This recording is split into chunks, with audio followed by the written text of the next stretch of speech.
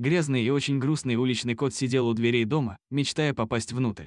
На улице было холодно. И, видимо, кот надеялся, что именно здесь ему дадут теплое убежище. Его заметил добрый прохожий, который решил помочь. Мужчина связался с волонтерами, и вскоре они уже активно искали дом для питомца. Тот день стал последним в уличной жизни животного.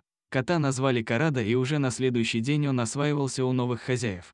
Питомец моментально превратился из настороженного и пугливого бродяги в ласкового и довольного питомца. Первое время Карада никак не мог наесться, он с такой жадностью набрасывался на корм, будто это был его последний прием пищи. Вскоре питомец окончательно адаптировался и теперь вместо еды чаще выбирает сон под боком или на руках хозяев.